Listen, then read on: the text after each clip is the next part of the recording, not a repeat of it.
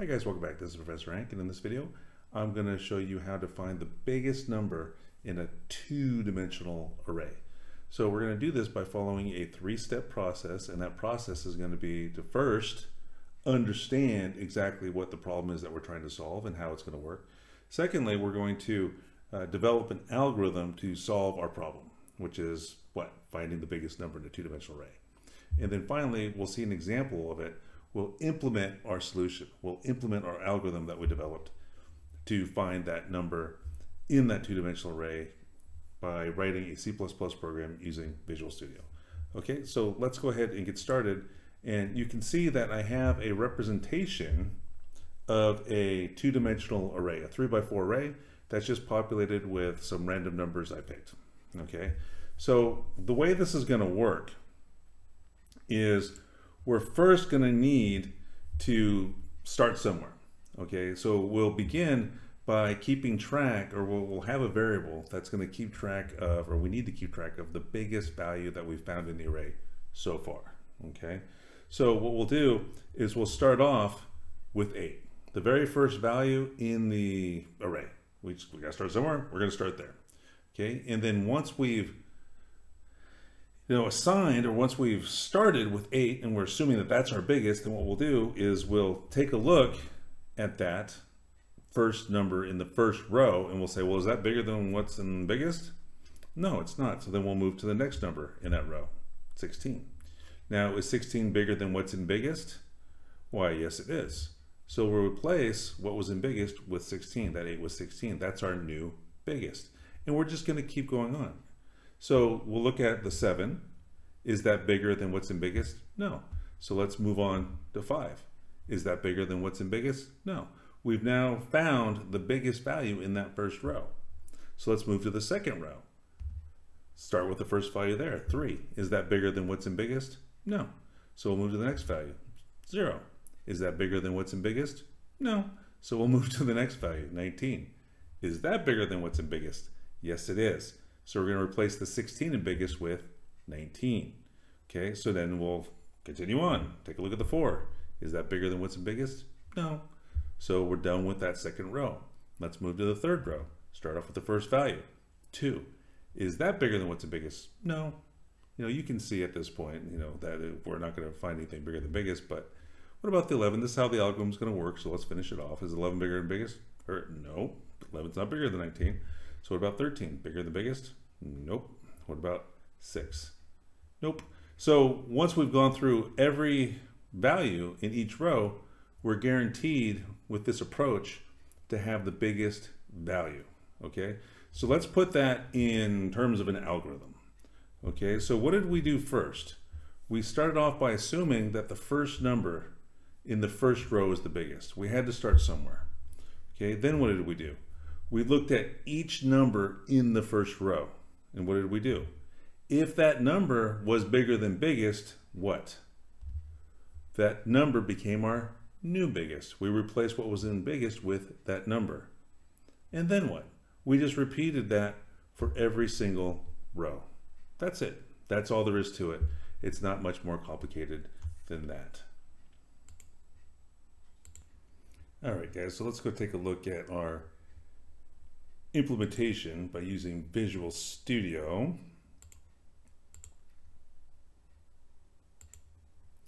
Okay, so you can see that I've got a two-dimensional array that is already set up. Okay, so what we need to do then is we need to follow that algorithm. Okay, so what did that algorithm look like? Okay, so there it is. Assume the first number the first row, and we'll We'll keep that here.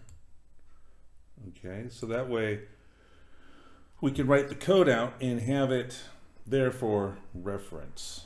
Okay, so let's go ahead and write ourselves some code. So we have to assume that the first number in the first row is the biggest, right? So let's go ahead and create a variable called biggest and we'll assign to it the first number in the first row, okay? So then what did we have to do, right? We had um, an outer loop, right? We had this outer loop that um, had to go through each row. Okay, so what we'll do is we'll say, okay, well, for int r equals zero, that's gonna be the first row. So long as that row is less than the number of rows, well, how many rows are there? There's three, okay? Then we're gonna do something. Okay, so that is the basis of our outer loop. Okay, then what? We had to have an inner loop. Okay, so we got nested loops going on here. So that inner loop has got, um, you know, it's got the, uh, for each number in the row. Okay, so what we're doing is we're moving column by column. So we can do something like this for int c for column equals zero and c less than, well, how many values are in each column? How many values are in each row, right? How many columns are there in each row? There's four. Okay, so then we'll say c less than four, c plus plus, okay? So then from there, what? What was in the inside of that inner loop? Well, what we had is we had, uh, you know, a test. If the number is bigger than biggest, right? If the number is, num is bigger than biggest, then what do we do? Okay, then biggest becomes that new number. Okay, well, what is that number? It's gonna be whatever is in the rth row in the cth column. So what we're gonna say is we're gonna say nums r and then c, okay? And then we'll do the same for right here, okay? Because what's gonna happen?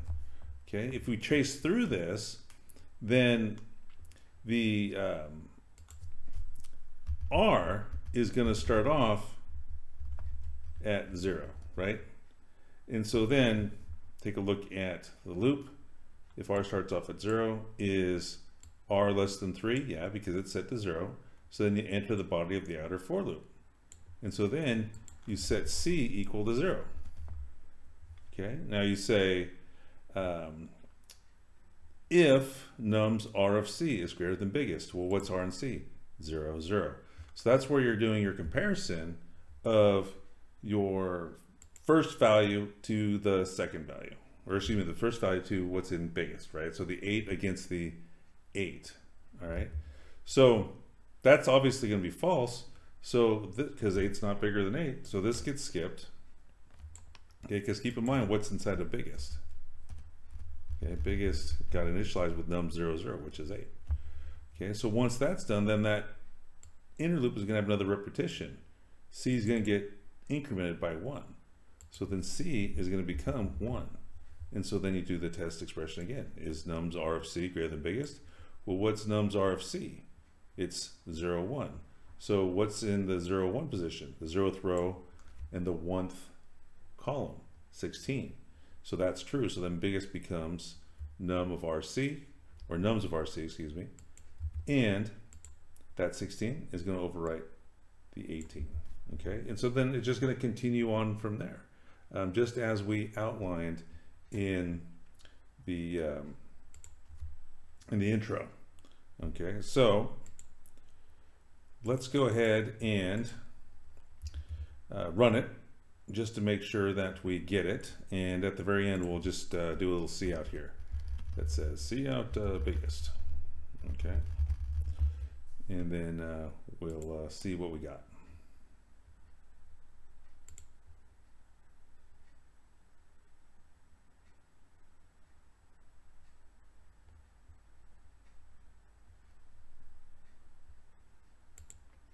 Okay, so there you go. You can see the 19 and everything works just as we had planned, just as we had hoped.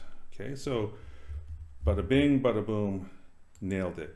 All right, so that's everything I got for you in this video. I mean, so what did we do? We looked at how you can find the biggest value in a two-dimensional array. How did we do it? We first understood the problem, what we were trying to do, right? And we, and we traced through how the algorithm was going to work. And then we developed the algorithm, wrote it out, and then we simply implemented it, converted that algorithm into C++ code. Okay, so if you thought the video was useful, please consider giving it a thumbs up. If you thought the video sucked, then you got that thumbs down as well. Please consider supporting the channel in various ways. Leave a comment, subscribe, hit the bell so you know when new videos are being released. Consider joining as a member for additional perks for as little as 99 cents a month. Hit the super thanks, you know, whatever. And as usual, if you're a student of mine and you have any questions, feel free to email me, stop by my office hours, or hit me up on Zoom. Okay? Thanks for watching, and we'll see you next time.